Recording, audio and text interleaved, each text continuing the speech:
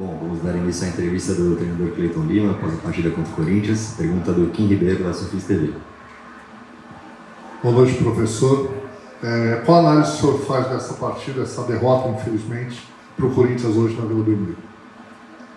Bom, é, um clássico, né, bem disputado. É, a gente produziu muito pouco no primeiro tempo com a bola no pé. Né? O time do Corinthians é um time que já tem um trabalho mais consolidado do Arthur, com, é, com um elenco que já tem uma dinâmica de jogo talvez um pouco maior e mais entrosada que o nosso. Uh, eles achavam muito passe entre linhas, né? então dificultou muito o nosso encaixe de marcação, porque quando a gente balançava o passe acabava entrando, furando na medida, né? assim eles, claro, corriam até um certo risco da gente roubar e sair no contra-ataque, mas a posse de bola e o percentual de acerto de, de, de passes, principalmente no primeiro tempo, determinou é, o melhor momento do Corinthians. Acho que até quando a gente equilibrou um pouquinho o jogo, quando a gente teve alguns contra-ataques encaixados que a gente estava equilibrando a partida e jogando até melhor, a gente acabou sofrendo o gol.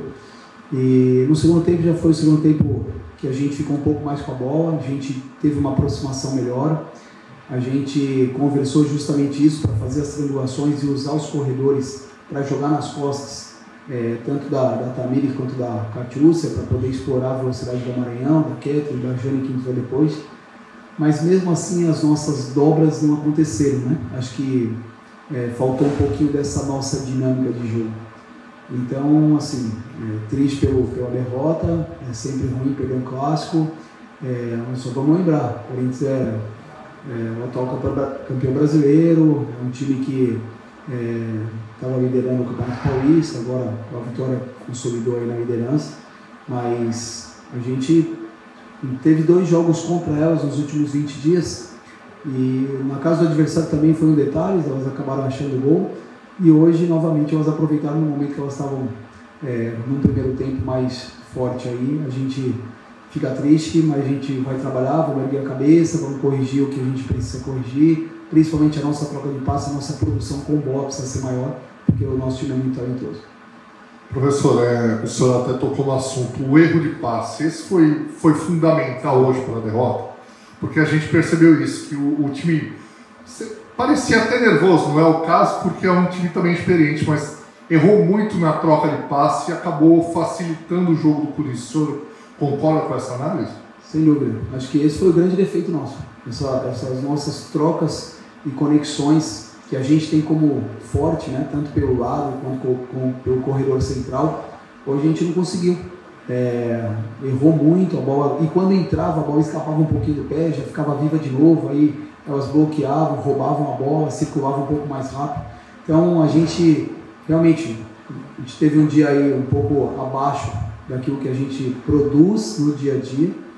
E não é nem nervosismo não, as meninas são meninas experientes, tarimbadas, é, são é dia que às vezes é, realmente as conexões não entraram, os passes não saíram na medida e a gente acabou desperdiçando nos momentos que a gente poderia ter criações melhores, decisões melhores e principalmente o encaixe na parte técnica, que eu acho que seria fundamental para a gente poder empatar o jogo. Professor, outro detalhe que percebi é, é o Corinthians tinha cinco no meio de campo, era o Santos três. Isso dificultou também o trabalho das jogadoras do meio de campo do Santos por estar em menor número, porque a gente viu o Corinthians saindo em bloco, né? Então, na verdade, assim, é, a gente joga no 4-3-3, sim, mas o Corinthians jogou no 4-2-4 porque ela sobrecarregava a última linha nossa. É, então, essas duas jogadoras que jogavam ali no meio, elas saltavam para ficar em cima das nossas laterais. E aí, o meio-campo ficava mais com a bola quem, quem tinha posse, né? ficava é, mais concentração de jogo quem tinha posse. E aí, esse foi o detalhe. Se a gente tivesse a posse, independente de ser um jogo com uma inferioridade numérica no meio, a gente tem os corredores laterais com dobras muito fortes, que é o nosso jogo um pouco mais vertical, né? usando as triangulações, tanto o lado esquerdo com é, Bia, Iaiá e Maranhão, lado direito com Fabi, Brena, Taizinho e Kathleen.